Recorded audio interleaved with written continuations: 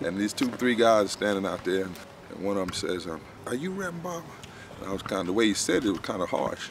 Let me tell you something. He said, "I don't even like the NAACP that much. I don't understand it that much." He said, "But I saw you up there fighting for unemployment. My, my brother needs unemployment." And he started telling this story. He said, "Listen, we got to talk. We got to get together." somebody been keeping us divided. I mean, that's what I heard him saying. He didn't say those exact words. And if we don't learn how to figure this out, they're gonna divide us and then take the yes. take the farm, the, the, the cows, the horses, and everything else. Well, thank you for coming to the mountains. Oh, I'm so glad to be here. We're looking for more chairs. Always a good sign, right? Down the basement digging for chairs. Go around here and then first hallway to the right. Okay, first hallway to the right. Yeah. There's one. I just wanted to ask if it was all right. I promise. This stuff before you leave. I'm gonna use this restroom. Where is this? Right in here.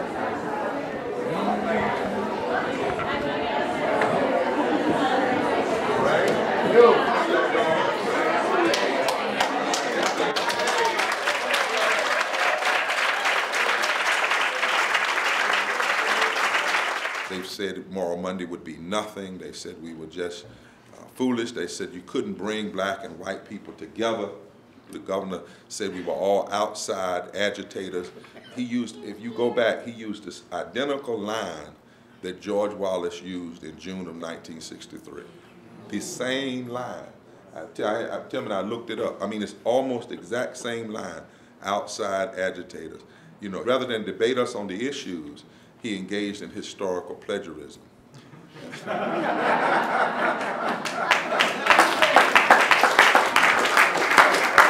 but I, I understand that, that it is something to be told for the president of the NAACP to be here in Mitchell County, in Spruce Pine, on a, on a Sunday afternoon.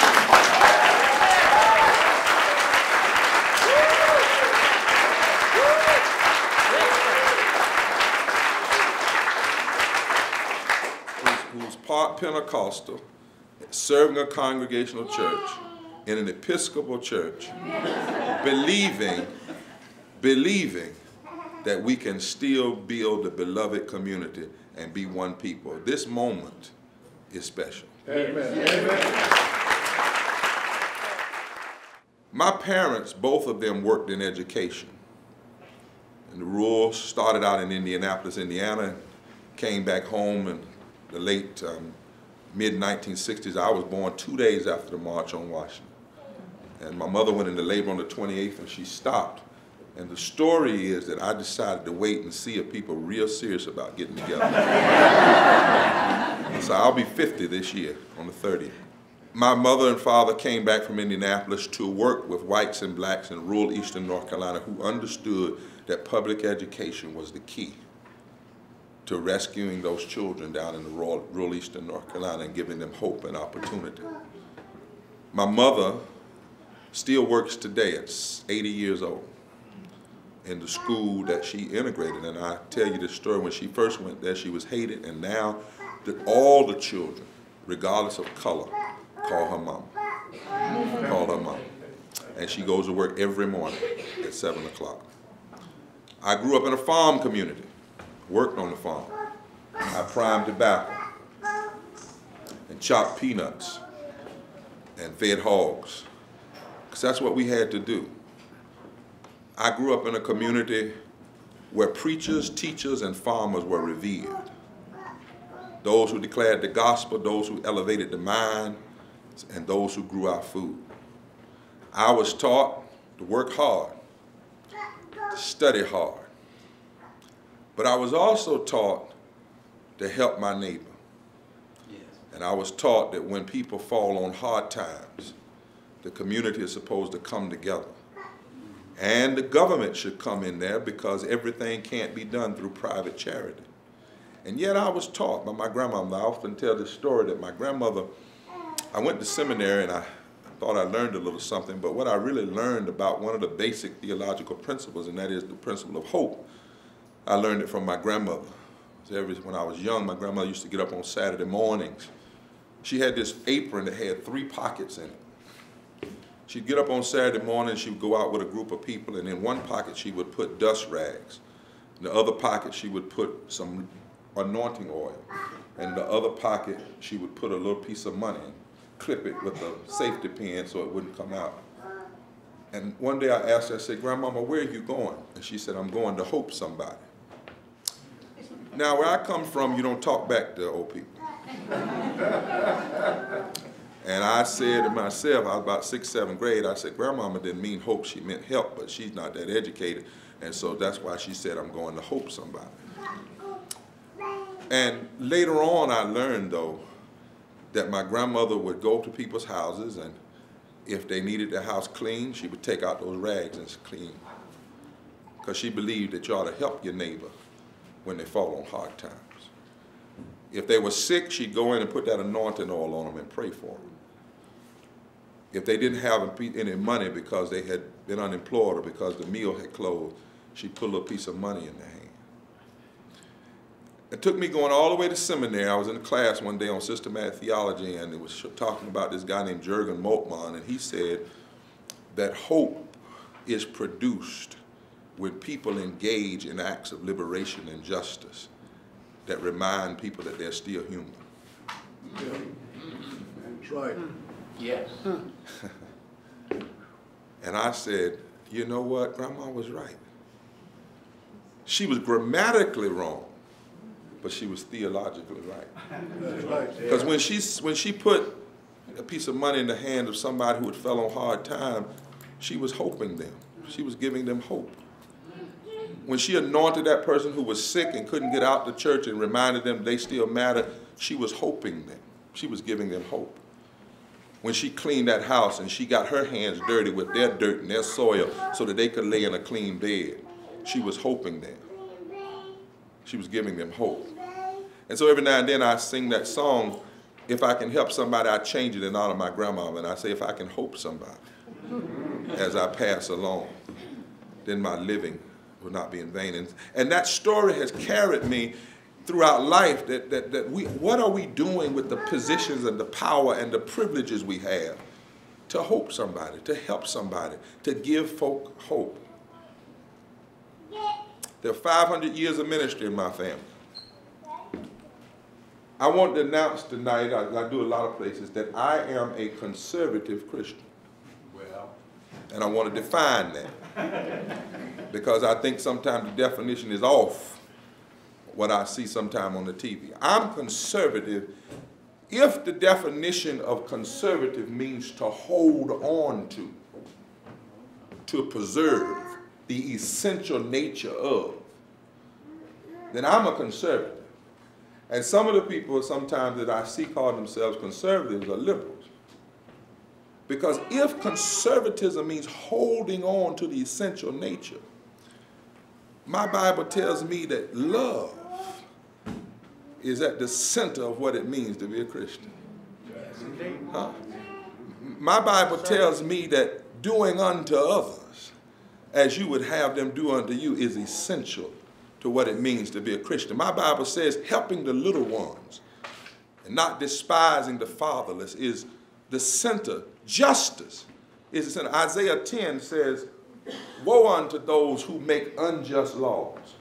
In fact, in, in the Message Bible, it says, Woe unto those who legislate evil, that rob people of their rights. That's what the Bible says. Isaiah 58 says, If you want to be a repairer of the breach, you have to care for the hurting and the poor and loose the bands of wickedness. And in Hebrew, the, the phrase loose the bands of wickedness actually means pay people what they deserve for a day's work. and that's the fast that God desires. And if we do those kinds of things in society, then in fact we become repairs of the breach. Jesus' first sermon, Luke 4:18, Spirit of the Lord is upon me. Well, he said, He hath anointed me, and he listed five categories of people. He said, to preach good news to the poor, recovery of sight to the blind, healing to the brokenhearted, hmm, release to the captive, healing to the bruised, and to declare the acceptable year of the Lord. Micah 6 8. I want to conserve that. That's an essential. It's not a suggestion. What doth the Lord require? Not suggest. Not just for individuals, but for governments, for society. What doth the Lord require? Not suggest, but to do justice, love mercy, and walk humbly before your God. John, a new commandment I give unto you, not a suggestion. This is, this is, the, conser- this is the conservative part of our faith. A new commandment I give unto you, that you love one another. And by this love, all men will know, not have to guess, not have to worry, that you're my disciple. Huh? And then Matthew 23, where it says, Woe unto those who clean the outside of cup, but the inside is full of death. Then it says, Do you know what the weightier matters of the law? The real, what really matters? Love, justice, and mercy. And then that question that Jesus says is going to be the ultimate question for me, the ultimate question for every legislature, the ultimate question for, uh, for, for governments, for people. Questions that are going to be asked that ought to be the grid that we lay down on everything we do before we decide to implement it. When I was hungry, did you feed me? When I was naked, did you clothe me? When I was thirsty, did you give me drink? When I was sick, did you come see me? When I was in prison, did you visit me? Because, inasmuch as you do unto the least of these, my brethren, you've done it unto me.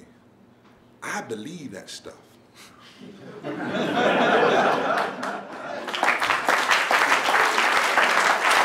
believe it. I believe it with everything in me. If I didn't, I would hang up my preaching robe. Hmm. I, am a full fledged Christian conservative. I want to conserve what the Lord said about our role. And that's why it concerns me sometimes when I see people wanting to dismiss those things and lift up other things. As somebody said, major in the minors and minor in the major. I, I love my faith, but I understand that this faith is not just about how much you can take for yourself, how much you can ask God to be your divine bellhop to give you what you want. but ultimately, this faith, all of us going to be judged under whom much is given, much is required. We're going to be judged by how in this life did we use our positions, our power, our privileges to lift up other people and make it better for those around us. I'm also a constitutionalist. I don't think we wrote a constitution just for fun. I believe we the people.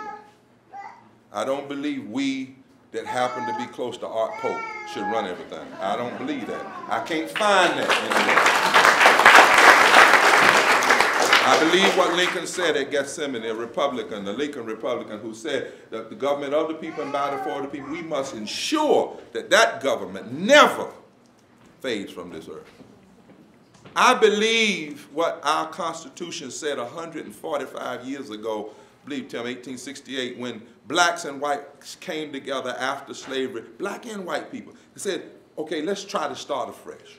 Let's try to go forward. Been, had some ugly history, had some bad days, had, had some evil stuff, but let's try to go forward. And they wrote, we hold it to be self-evident that all persons are created equal that they are endowed by their creator with certain inalienable rights, that among these are life, liberty, the enjoyment of the fruit of your own labor, and the pursuit of happiness. That's in our state constitution, and it was put there by whites and blacks who were deciding we've got to go forward past this, this history of slavery and division.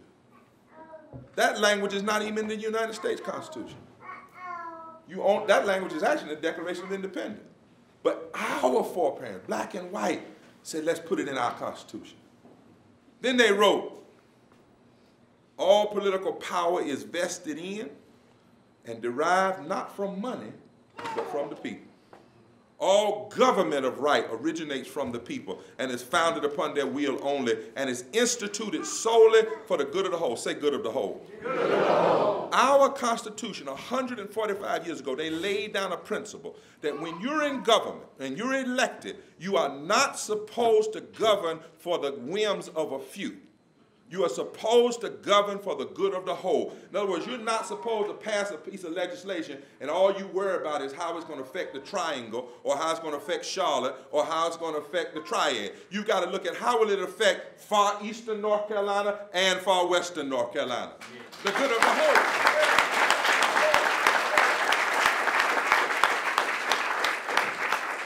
And I believe this stuff. I believe that we should, we should hold on to it. I believe we should conserve it. They said, they said 145 years ago, all elections shall be free. Not might be free, not must be free, not could be free, but shall be free. Which means any attempt to buy elections is a violation of our most fundamental constitutional rights. They said all political rights and privileges are not dependent upon or modified by property.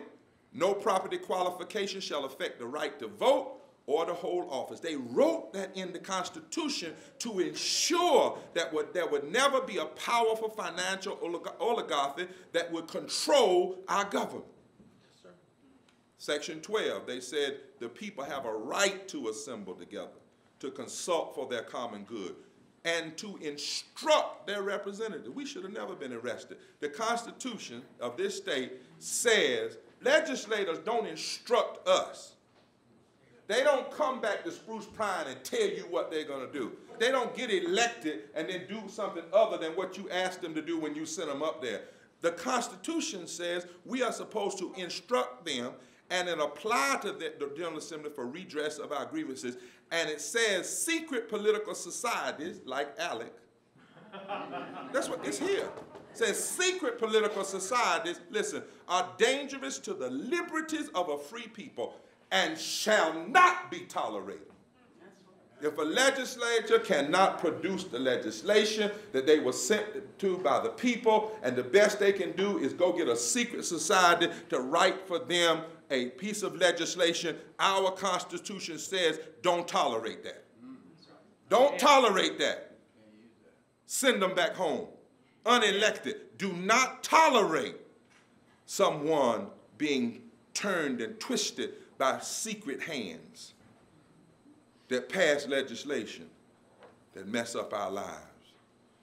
I believe this. I, I, believe in section 15 where it says the people have a right to the privilege of education. The people, not just students, not just young folk. 145 years ago they said the people have a right because there were a lot of illiterate adults. A lot of African Americans who were slaves and then so they said the people and, and guess what?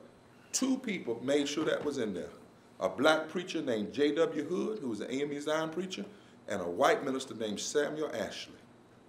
They were the two that came together, white and black, and made education in North Carolina a constitutional right and put it in Article 1, not Article 2, not Article 3, not Article 4, not Article 5. We don't even get to voting until Article 6. but education yes, is in Article 1. The qualification for voting is Article 6. But education is in Article 1. So when people hurt public education, they are going back what's a past a principle that's been in place 145 years. I'm a constitutionalist, and I believe we all ought to be constitutional. I'm a conservative, but, but by definition, not some of what some folks say. I'm a conservative in the sense that I believe I don't know how to be Christian without loving people. I don't know how to be Christian without being concerned about justice. I don't even know how to be a constitutionalist without being concerned about justice because even our federal constitution, the first principle of government is to establish justice. Then the common good, promoting the general welfare and domestic tranquility. And then you get to the freedom. Because what, free, what is freedom? It's not just free to do anything. As I was taught, it's freedom to be able to participate in the making of a better society. So, when I look at what's happening now in public policy, I believe we need to have a conversation, y'all, that's not black, not white, not Democrat, not Republican, not liberal, not conservative. There are times you have to deal with that, and I'm not one that's going to back up. Sometimes you got to do what we call, um, you got to disaggregate the numbers. Sometimes you got to look at how policy hurts women. You got to look at how it hurts African Americans. You got to look at how it hurts people in certain geographical areas. But in terms of how we talk, we have got to understand our interconnectedness. And we've got to have a conversation that doesn't trap us into these little puny categories like black and white and liberal and conservative and Democrat and Republican. We're at a place in history we need a conversation about just this what's right and what's wrong. Amen. Some things are just wrong. Y'all grow up like that?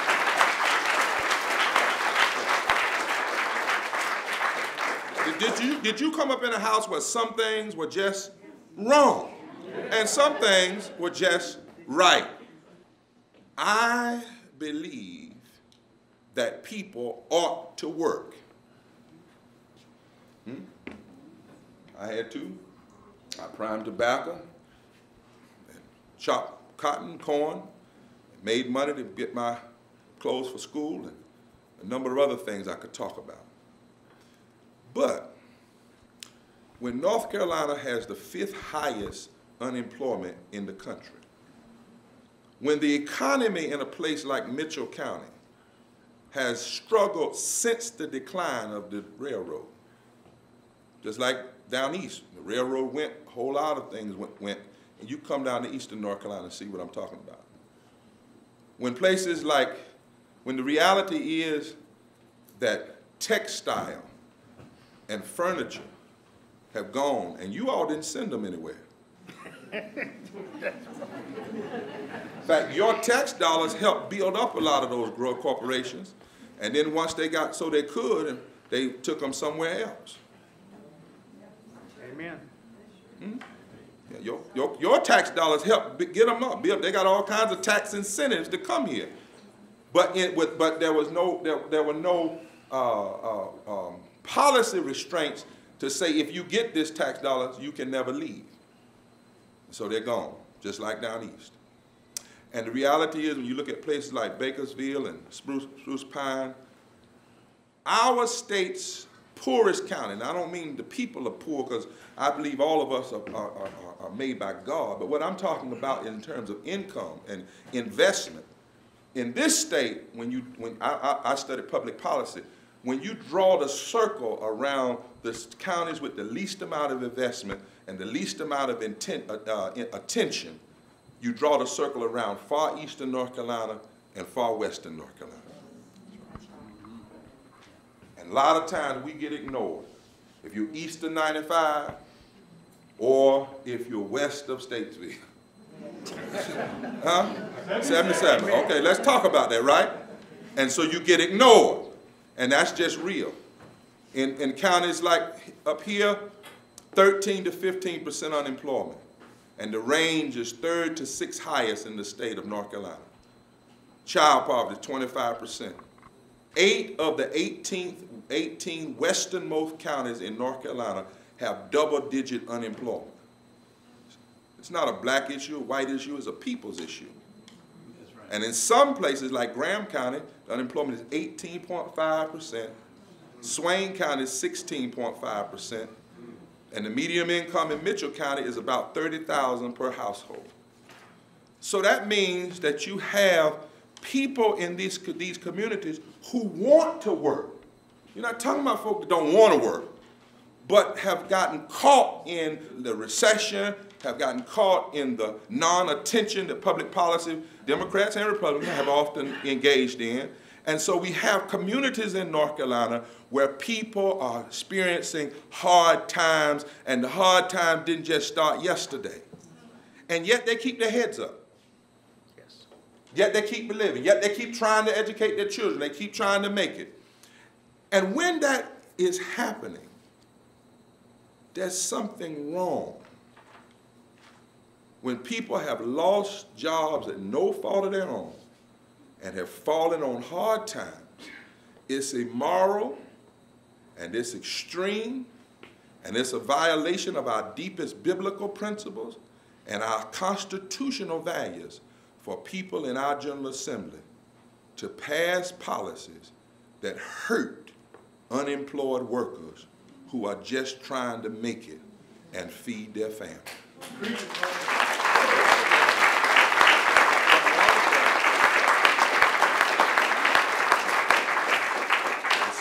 Is something wrong? And I've asked this question, what kind of Christian will take people's unemployment because the government, when it had the chance, did not tell corporations to pay the right amount of money.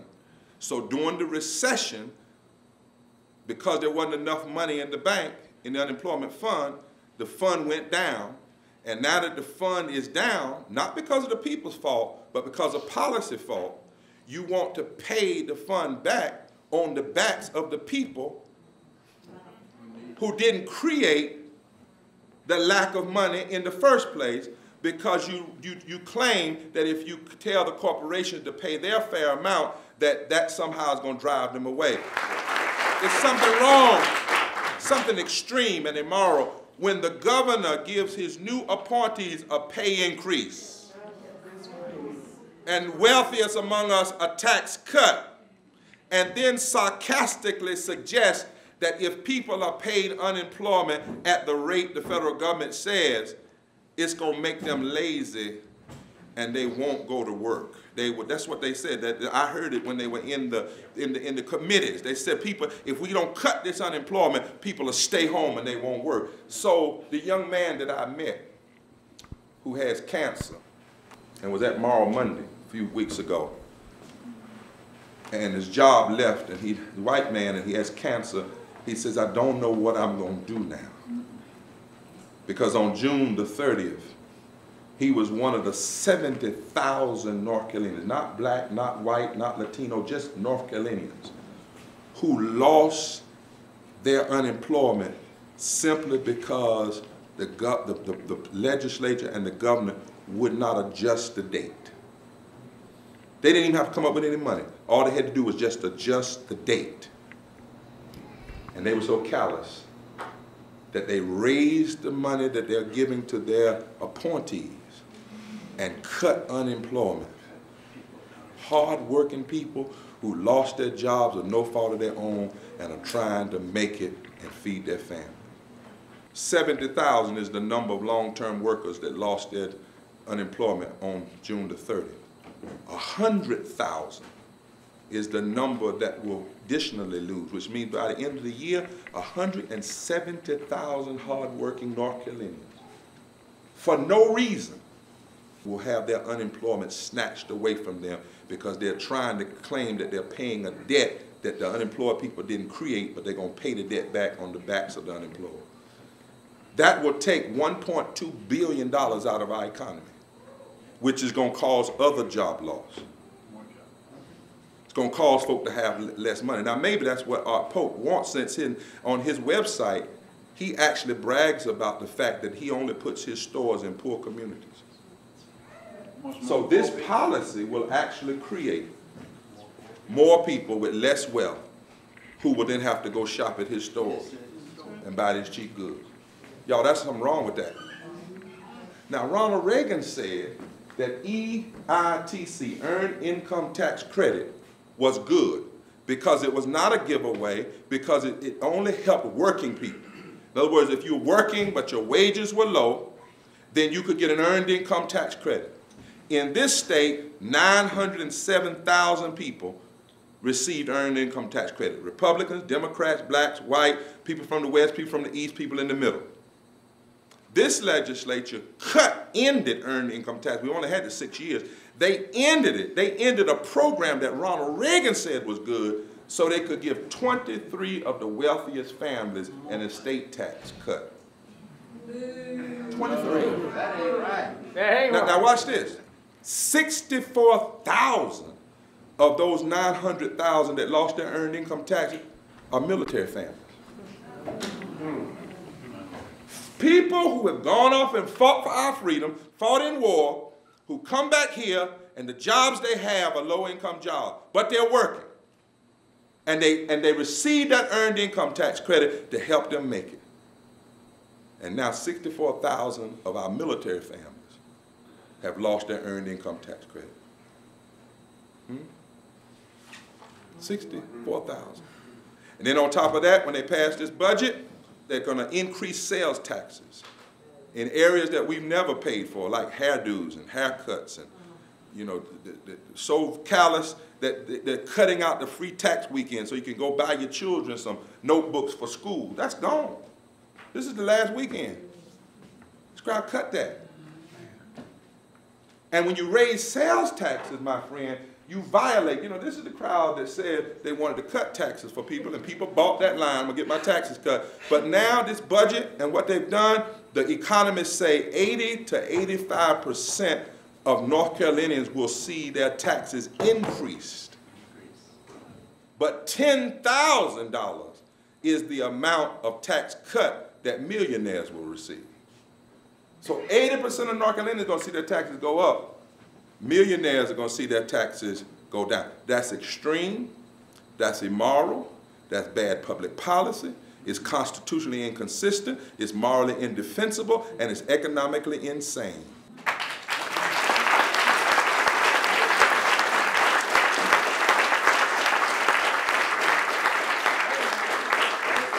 Conversation we need to have that's bigger than these little puny you know, categories of liberal versus conservative, Republican versus Democrat. It's about what's right and what's wrong. Yes.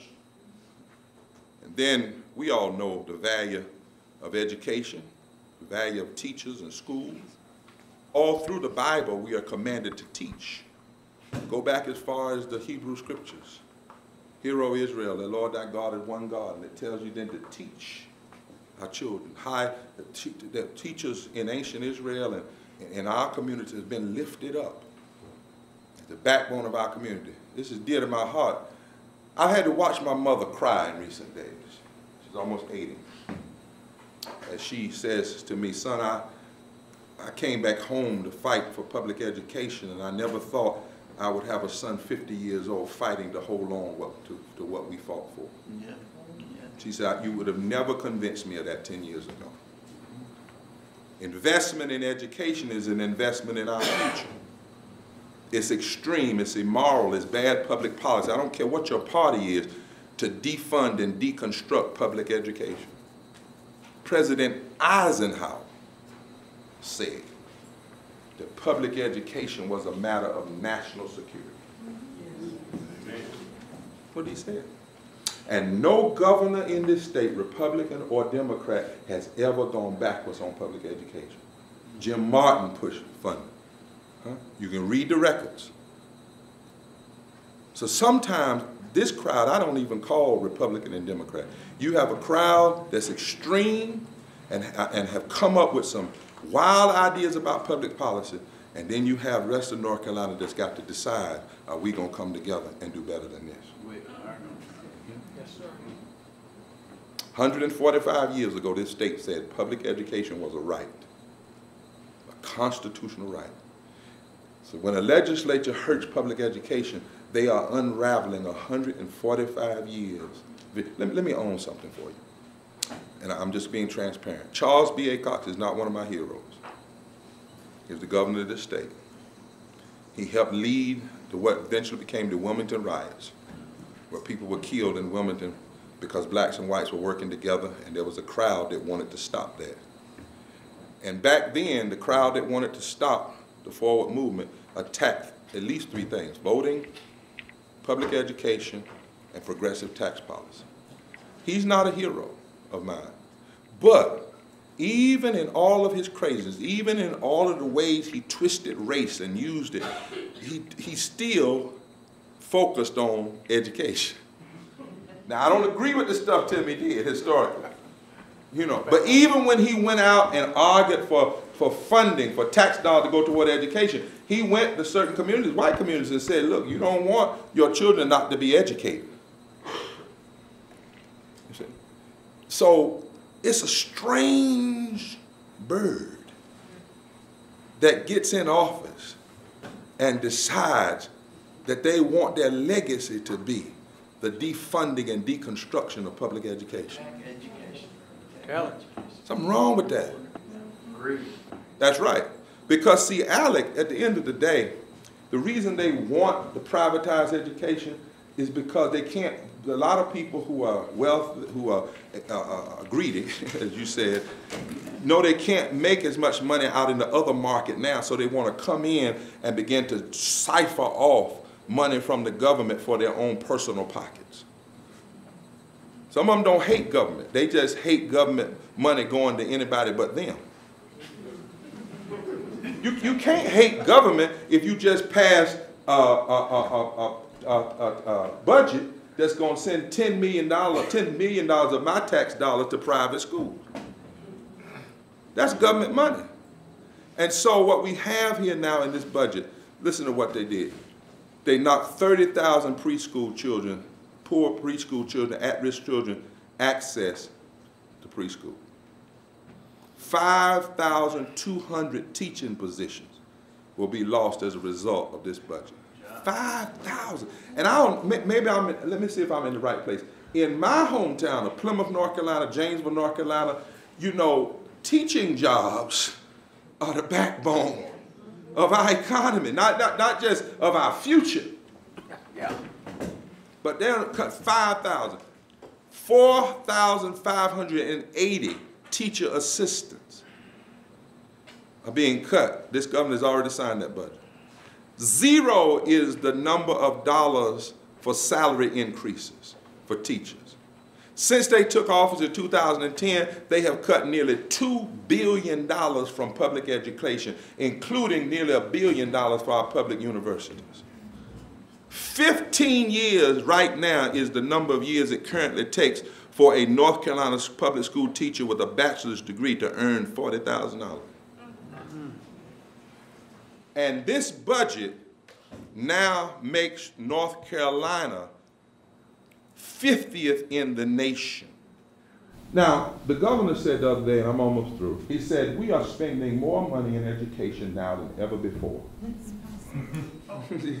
That's what he said with a straight face. Well, no, not really. he said, he said, we are spending more money. Now, that's true if you just look at it in terms of actual dollars without looking at it in terms of adjustments for inflation, which is the way anybody that really wants to be honest will do something. You, you do that all the time because you know you know the dollar's not what it used to be. Am I right? Yeah. How many of your, your children don't? I used to ask 50 cent. I thought 50 cent was a was real. My children, they have no shame. Daddy, we need $20. Because inflation. So the economists, the economists say that we this budget puts a total, listen to this, seven billion eight hundred and sixty-seven nine hundred and sixty thousand six hundred and forty-nine dollars in the 2014 fiscal year budget.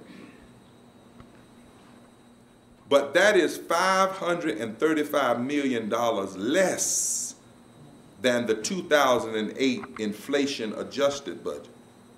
So it's more money in actual dollars, but it's less money when you look at what those dollars will buy.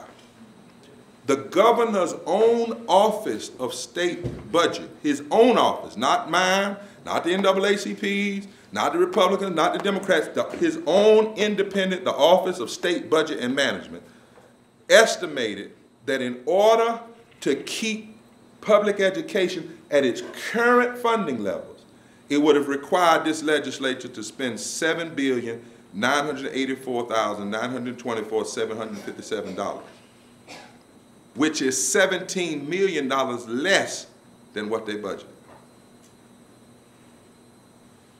So the governor's own budget office says that this budget takes us backwards rather than forward. Governor McCrory also claimed at this same news conference when he signed the tax reform package that teachers making between $40,000 and $45,000 annual will get 1% of their earnings back. That's what he said. But when the economists looked at the tables in the tax reform, the economists say that citizens don't get a 1% tax break until they have a household income of $250,000. My doctorate was in pastoral care and public policy. So, so it's preaching and it's, it's, it's, it's, it's, it's, it's taking scriptural principles and then applying them to the public arena. Governor McCrory said in this same news conference, North Carolina ranked in the 40s in 2010, just like we do now in terms of teacher salary. He said in the 40s. When actually in 2005, we ranked 27th. We dropped to 46th in 10 years. And that's why, and I challenge Democrats on this too, because we've been out here pushing them as well. But now we're at 50. We're at 50. And this is devastating to who we are as a people and our constitutional call and our moral call to educate our children. This is immoral, it's extreme, it's bad public policy, it's constitutionally inconsistent, it's morally indefensible, and it's economically insane.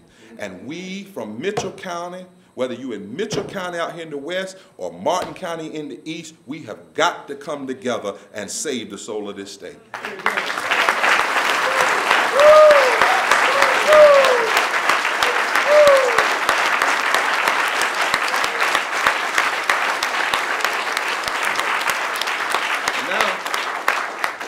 after all this bad public policy, now they're trying to rig the elections. Now, I just have to own this because they say all of this is about voter integrity and voter ID. Wherever you stand on that, we can debate that. But let me tell you something. If you don't trust them with education, you better not trust them with voting either.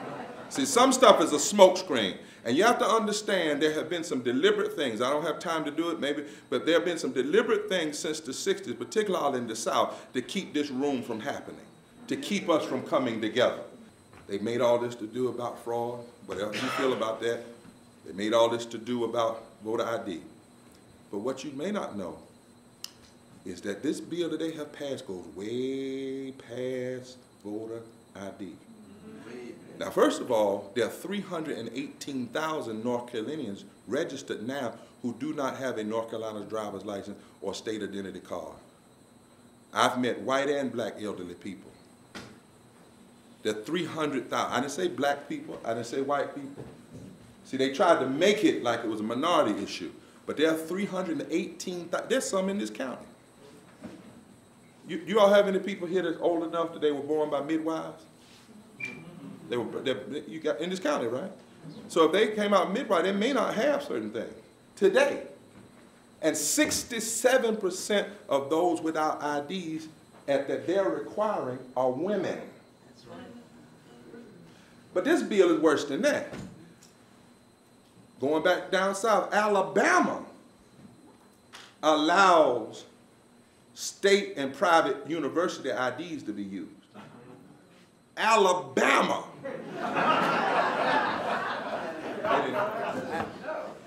no, Alabama. this bill doesn't even allow people, to, if you go to UNC and you paying all that money, or Duke, or, or Shaw, or North Carolina Central, they say even if you have a state ID from a school, private or public, it's not valid. South Carolina has a provision in its legislation about it says you get vote ID, but it says if a hurricane comes through or if a snowstorm comes through and creates inclement weather and, and, and, and you can't find it, you know, your house is torn up or something, you can still vote. This bill says no. No. They don't care white, black, Republican, Democrat, doesn't make any difference. If you don't have it, a hurricane comes through here, a big storm comes through up here in Mitchell County, a hurricane hits us down there on the coast, you can't find your ID, you just, you're just out. Because they know if all of us get together and start talking, a narrow-minded agenda can't win. And one thing that North Carolina is poll high on, and that is a deep dislike for politicians, Democrat or Republican, who use their power to rig elections.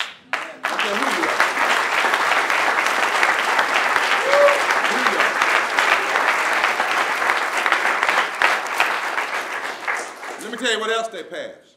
And, and Mr. Senator Hise, I keep calling his name, I got a little report. Where's my report card on him? I got a report card over there. He voted on all this stuff. They want to end the pre-registration of 16 and 17 year olds who take civics. Now, why would you want to do that? If you if you don't, if you teach a kid civics and then say then say you, you can hold up front and then say uh, now that you've gotten civics you can pre-register so that you already be registered 18. You pre-register for the draft. But in this state now, it's now illegal. 16 year old, 17 year old can't pre-register. They voted to eliminate same day registration. And last time, uh, as many Republicans as Democrats used same day registration. They voted to increase the maximum campaign contribution to $5,000. And it will increase every two years with the consumer price index. I mean, you can put more money behind candidates. What does that mean for folk like us that don't have all that money?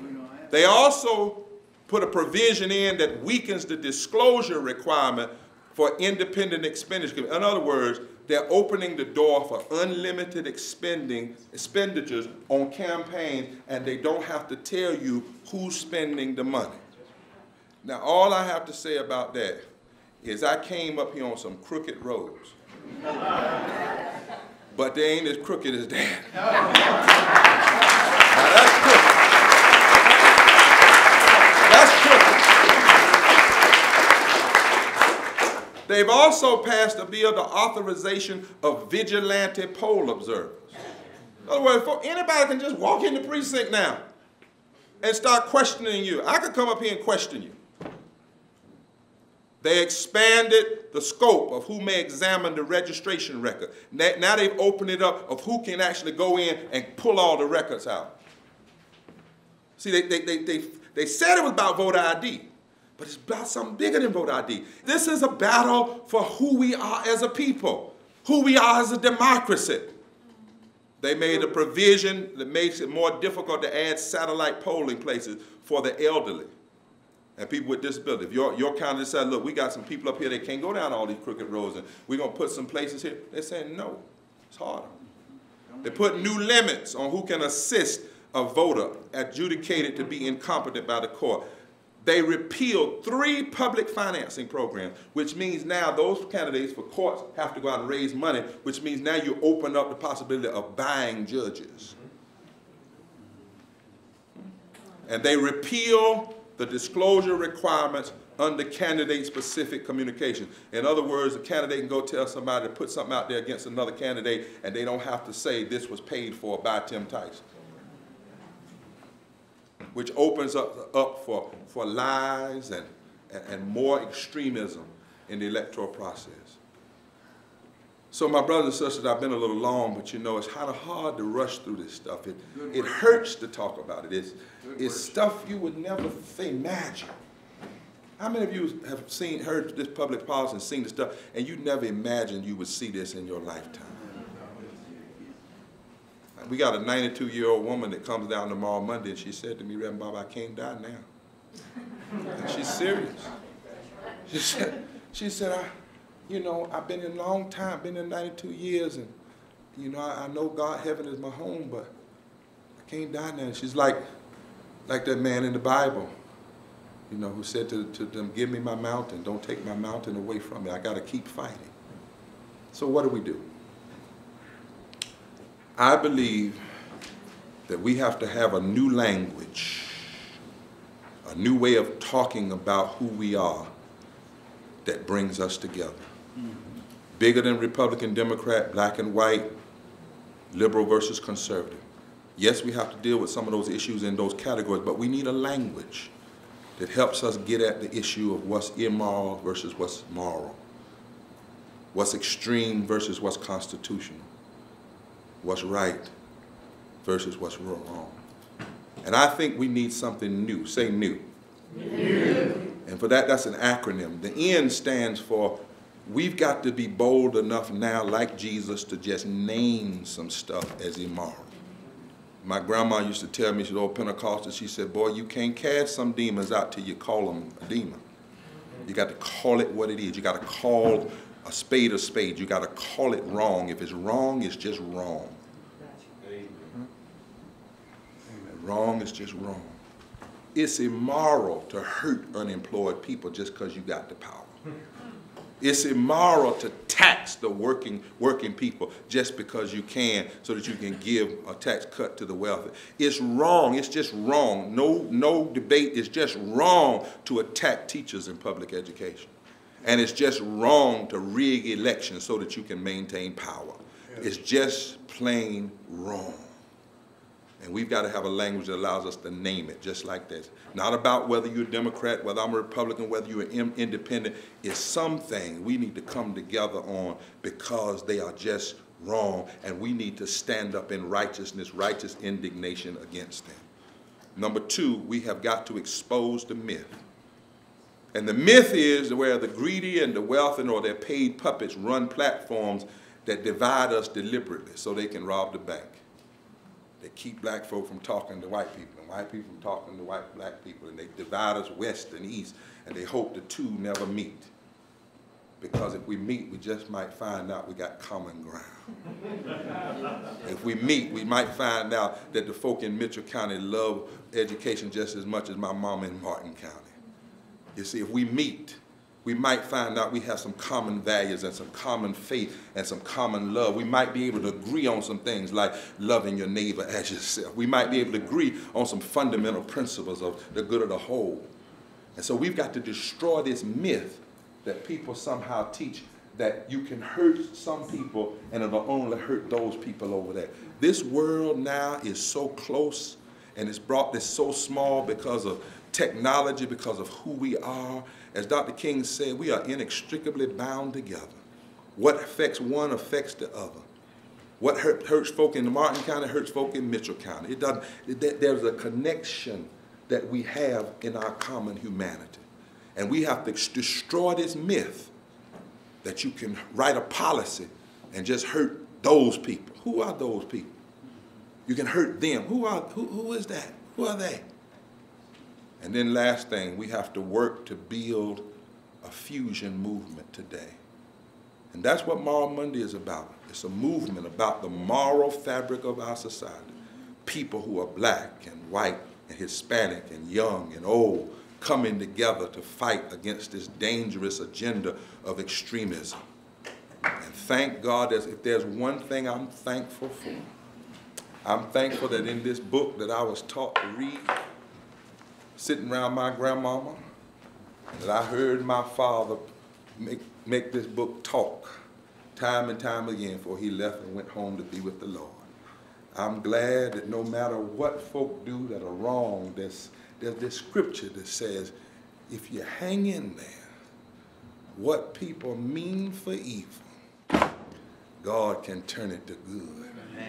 And if there's one thing that I'm glad about in all of this pain, is that when they attacked workers and they attacked teachers and they attacked education and they attacked our children and they attacked the sick folk, it has had a strange way of bringing us together.